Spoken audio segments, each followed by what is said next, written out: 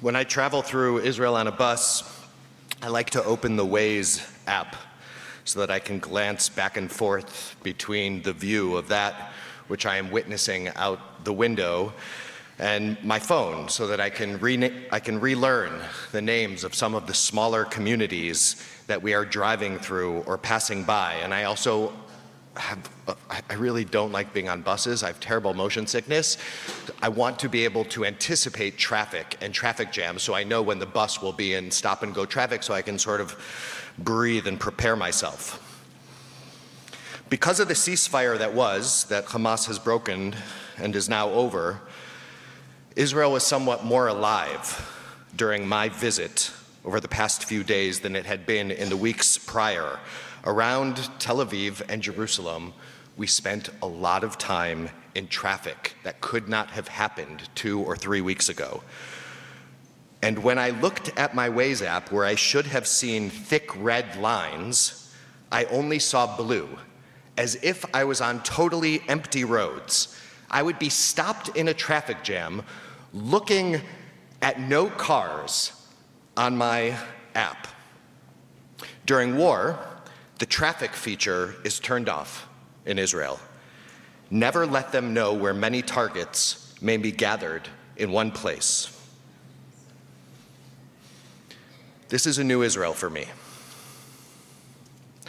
Israelis right now view their history as one comprising of four days October 6th, a deeply fractured society on the verge of breaking. Civil war was a term I heard used quite often in two days. October 7th, the loss of what so many thought to be true about their borders, the illusion of safety completely shattered, replaced with grief and a heavy dose of fear. October 8th, the day the war began, and the day the civil fracture of October 6th was bandaged up and a national unity reemerged, and world Jewry, for the most part, turned back to the East in a way it hadn't, likely since 1967. October 6th, October 7th, October 8th, and the fourth day is called the day after. The day after, I heard every Israeli I spoke to talked about the day after. It's a day that may come in two weeks or two months, could be longer. It's an unknown date, the day after, but everyone wants to talk about the day after. Maybe it's hope, but I never felt hopeful when I heard somebody talk about the day after, nor did I feel hope coming from those who would speak it. I think talking about the day after is a momentary sliver of relief from living fully in an unbearable present over and over and over again, there is a dark combination of the seventh and the eighth informed by the disarray of the sixth. Until every hostage is home, until Hamas is defeated, eliminated, removed from power, whatever defeated actually means, there's disagreement about that. This is the Israel that I experienced for two and a half days. The trauma and the grief is so thick, it is so palpable I found it hard to believe I was breathing the same air as I did even two years ago when I visited with a Federation Solidarity mission right after the last war with Gaza.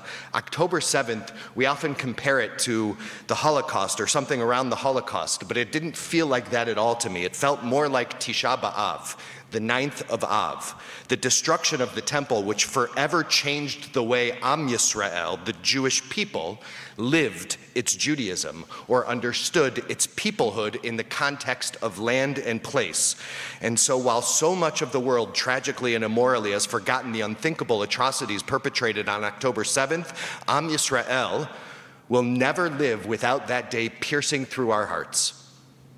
Tali Levanon of the Israel Trauma Coalition, an organization that was founded in 2001 during the beginning of the Second Intifada, a time that I lived in Israel, talked to our group in a hotel turned makeshift absorption center for refugees about how difficult her work is now. Every single Israeli is traumatized, yet she's got 40 counselors total. None of them trained for this moment in particular, all of them themselves traumatized by the brutality of October 7th. October 7th changed our lives, she said. Every perception we had on the 6th is broken, even hope.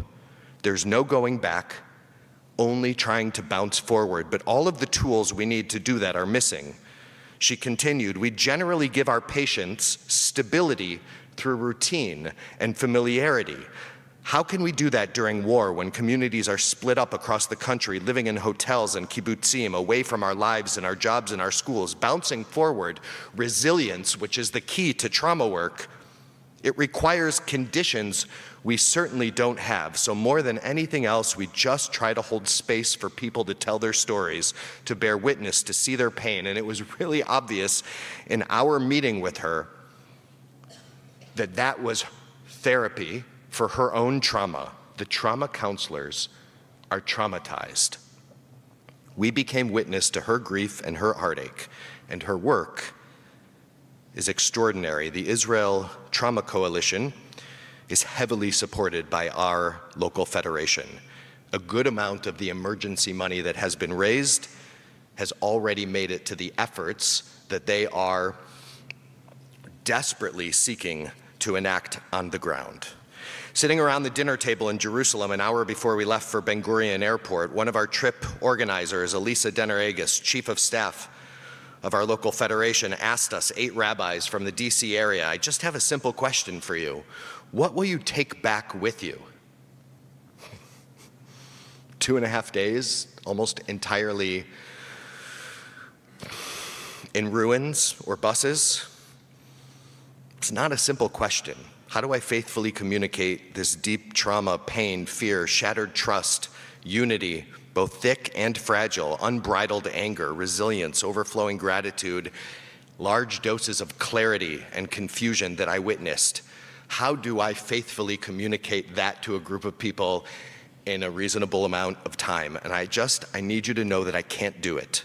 I am still shaken from what it is I experienced on the ground. And in other ways, I've never felt so connected.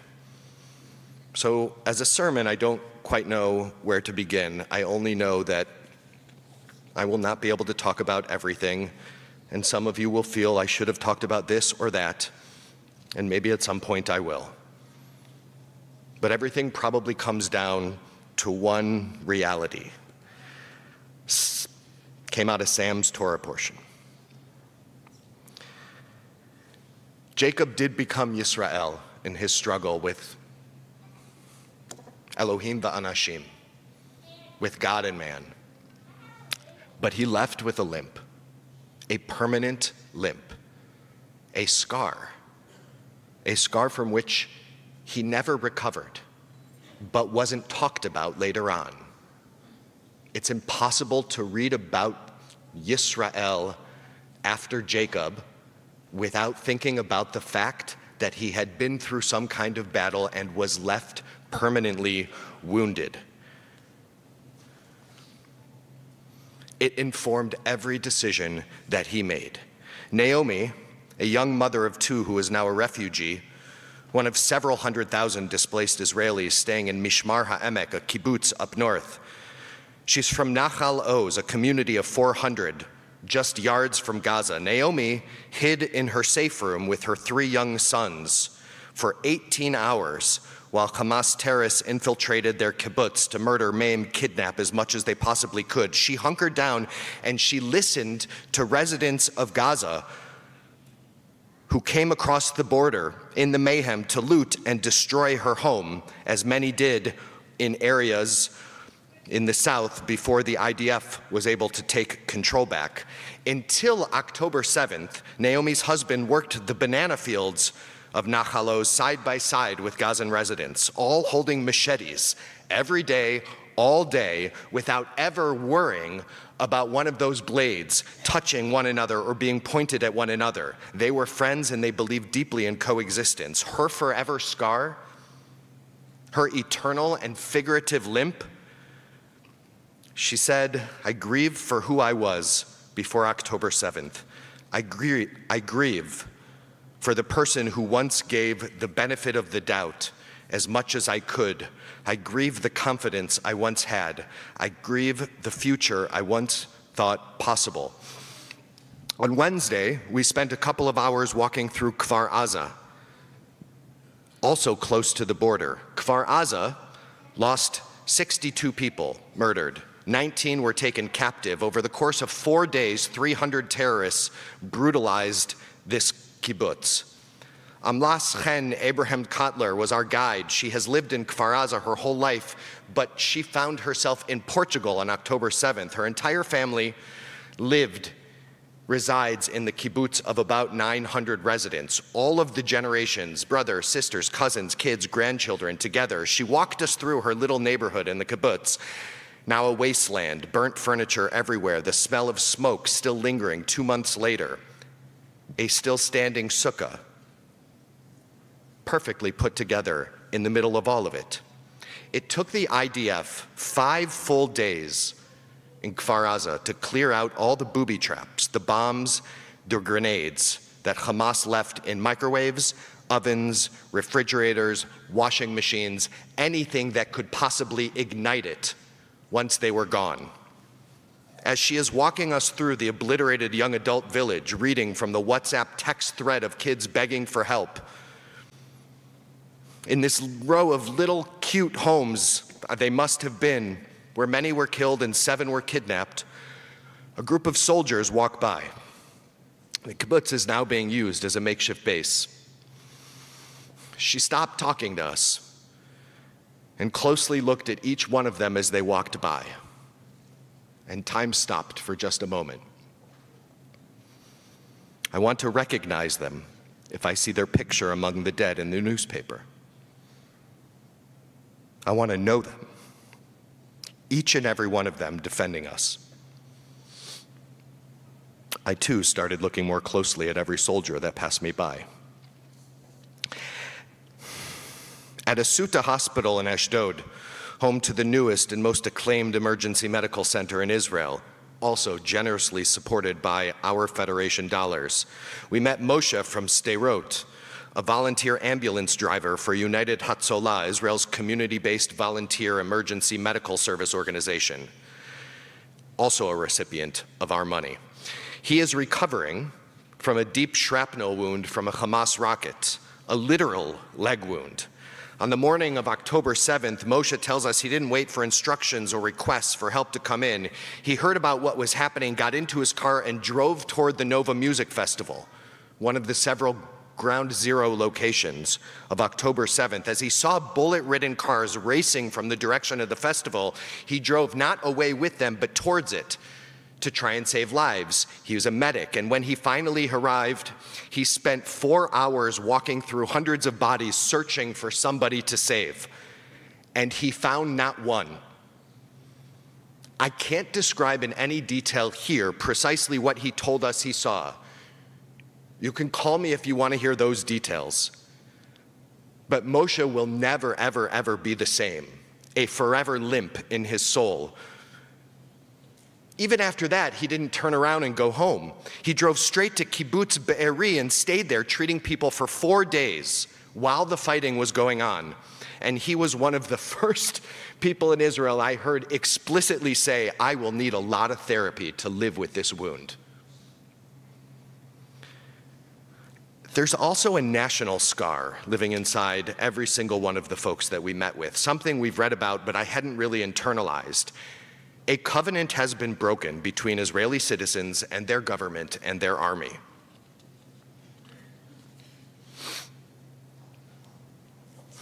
Amir Tibon, a refugee from kibbutz Nachal Oz, who lived in the DC area for three years as his wife Miri was a shlicha, in Virginia. They're sheltering in Mishmar HaEmek up north. This is what Amir said Our trust is broken. On October 6th, we had 150% trust in the military. On October 8th, zero. We had a sacred covenant with the government.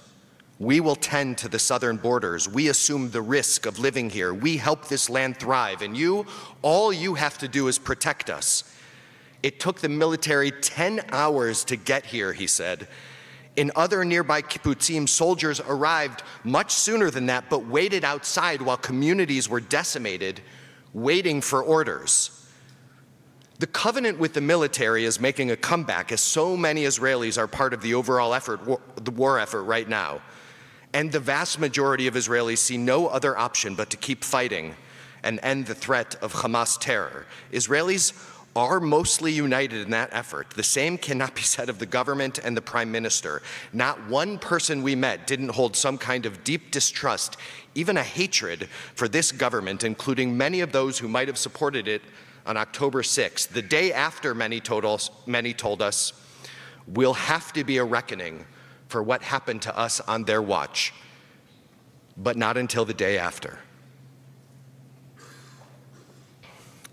And as is often the case with injury, and even with the process of healing, other faculties emerge, like gratitude. I've been to Israel or lived there for extended periods since I was a kid. And I always felt like when I went to Israel, Israelis would sort of look at us like people coming to the aquarium and pat us on the head. And it was this top down type thing of, oh, look, they're coming to see how we do it in Israel. Not this time. Not this time. It was like we had finally found a lost people on a deserted island. Lo muvan me'alav. We don't take it for granted that you are here. Thank you. We heard this a lot. Lo muvan me'alav. It means the world to us that you came during a war. We have never felt so alone as Israelis. The gratitude was overflowing. Vayivater Yaakov levado, and Yaakov was left alone. Vayomer lo ashalchecha ki im berachtani. I will not let you go until you bless me. Every single Israeli we talked to gushed about President Joe Biden. They felt his authentic love and his support. I heard, we know it might cost him politically, that makes it even more special. And so this is why we continue to walk forward even with a forever limp of October 7th. Ein Brera, we have no choice. Whether we are Yisrael or Yaakov or Yisrael, our story isn't over. It's just forever changed. Like every other forever changed date in Jewish history, Yisrael isn't going anywhere even when he is Jacob and Jacob will always be just underneath Yisrael. Neither will ever be the same, nor will we. And I am just beginning to understand that once again. Shabbat Shalom.